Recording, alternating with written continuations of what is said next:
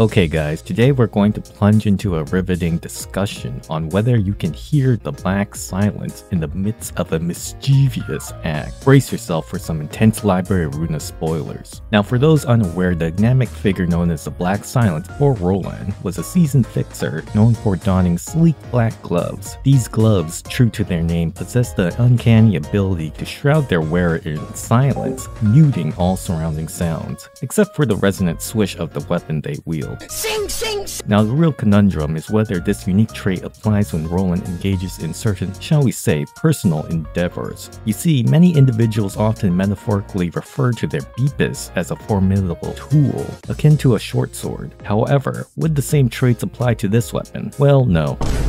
While Roland's hand may indeed transverse through the air, the weapon itself does not. Hold on though, let's twist the scenario a bit, shall we? What if Roland were to partake in said activities with another person? Could the rhythmic motion of their hips pounding against Roland's hand provide the necessary momentum? The answer remains the same. No. The dynamic movement from Roland's partner would impede his ability to firmly grasp the weapon, rendering it ineffective. Now you might be wondering why wear the gloves at all then? Remember, those gloves possess an additional function that allows the user to store their weapons within. With this nifty feature, one can conveniently dispose of their seed of light inside of the cloth. Some might even call it the Krumer glove. But here's the kicker. Even with the Krumer glove, the spillage is inevitable. Why is that significant, you ask? Well, buckle up. Where the library itself is revealed to be Angela's ego. Therefore, Roland just croomed inside of Angela. Remember, Angela is an entity gradually evolving from a mere machine into a human as the story unfolds. Knowing this, the three distinct endings of the game take on an entirely new significance. In Roland's unfortunate ending, he neglects his responsibility to provide child support, severing Angela in his desire for financial freedom. In Angela's bleak ending, she realizes Roland lacks the means to support their child. She takes a gamble, hoping his life insurance payout might compensate. However, she lacks the knowledge that the funeral costs will eat up whatever cash is paid out to her. Sure is expensive to die, but the true ending, my friends, unfolds when both parties find common ground and choose to raise the child together, forging a compromise amidst their complex circumstances. In this ending, an anonymous tipster informs Child Protection Services of the situation. Zena, Luda, and Baral storm the library, utterly appalled at the notion of a machine nurturing a child. Thankfully, a former agent of the CPS steps forward to vouch for them, resulting in only a stern warning. To summarize, should you find yourself in the position of releasing your seed of light within another, whether it be a robot, a grandma past menopause, or a fumo,